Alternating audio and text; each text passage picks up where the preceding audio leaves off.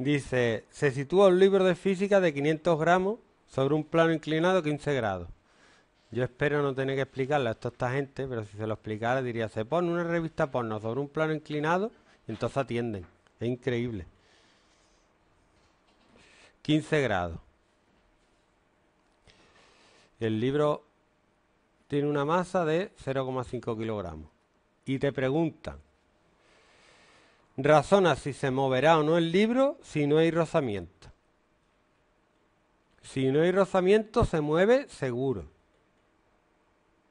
¿Vale? Desliza siempre.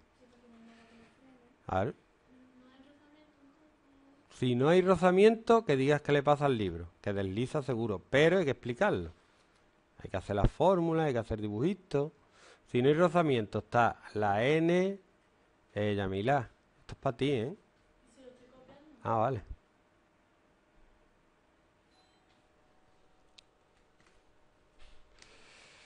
¿Qué más?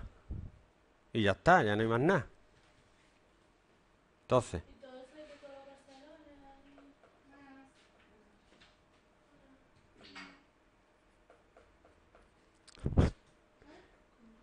n menos pi igual a 0. Y px, voy a tomar que el sentido positivo es para abajo porque me da la gana, igual a masa por aceleración. ¿Ya te han quitado la hernia discal o no? No, que va, tengo... ¿Qué tiene? Tiene la parte derecha, no sé qué algo así. ¿Tiene... Pero parece que tengo los tobillos bien, no sé. O sea, que tiene... El que tiene los tobillos bien. Sí, eso me ha dicho, me ha mirado los tobillos y me dice, tiene los tobillos bien. Ah. ¿A le han hecho lo mismo? Y me han hecho ponerme así. Bueno, yo también te haría ponerte así, ¿no? Te... Ponte así, ¿eh? A ti te pone, increíble. Ya, ya, ya, no hace falta que lo explique, tranquila, es una broma.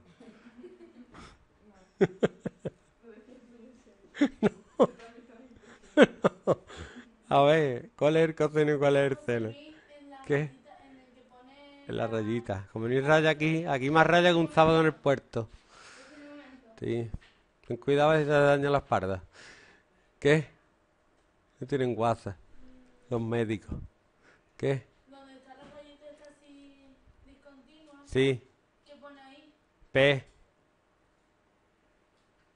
De... ¿Por qué pones los labios así cuando te haces una foto para Twenty? ¿Yo? Sí. Ya. ¿Y arriba dónde pone esa flecha? Más.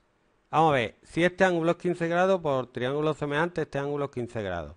Entonces, el y es el coseno porque es que toca el ángulo de 15 grados, que es justo al revés de antes. ¿Os acordáis antes que era al revés o no os acordáis? Pues por eso digo que lo hagáis siempre, lo penséis. No pongáis ahí lo primero que, que se os ocurra. P, P por coseno de alfa. Y como P es M por G. Entonces, si os fijáis, aquí no hay ninguna fuerza que se oponga a la, a la aceleración. De hecho, no influye ni la masa que tenga. La aceleración es g por el coseno del ángulo que forme. 9,8 por el coseno de 15. Deslice y punto. Y ahora vamos a ver qué pasa porque me dan un pedazo de coeficiente de rozamiento que no veas. En este no, ahora me dicen qué pasa si hay rozamiento. Oh. Si no hay rozamiento, ahora dice, si hay un coeficiente de rozamiento de 0,5. 0,5 es muy grande. 1 es el máximo. Así que mu igual a 0,5. Entonces, la, el eje Y es igual. ¿Vale? Igual. Pero en el eje X hay una fuerza de rozamiento que va hacia atrás. Eh, va a tender a moverse para abajo y hay una fuerza de rozamiento que yo dibujo bastante larga porque el coeficiente de rozamiento es muy grande. Entonces lo que tengo que hacer es comparar la PX con la fuerza de rozamiento. Si la PX es mayor que la fuerza de rozamiento se cae, pero si no, no. Entonces voy a poner lo que vale cada una, px es m por g por el seno. Uh, me parece que...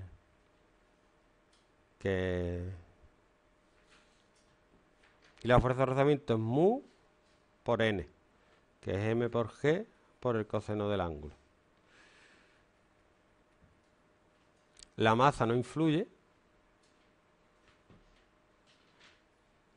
Y ahora voy a calcular cuánto vale. 9,8 por el seno de 15. Uy, qué más rollo me da esto.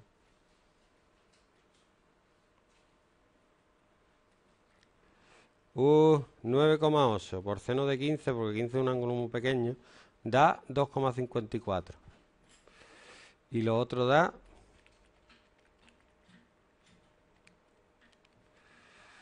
4,73. ¡Oh! ¿Qué quiere decir que la aceleración es negativa? Según esto empezaría a subir para arriba, ¿no? Lo cual es físicamente imposible. Esto quiere decir que se queda parado. No vas a poner el libro empieza a subir para arriba la rampa. No. No puede ser. No. No. Yamila, no. Acción, reacción. Se queda ahí diciendo, bueno.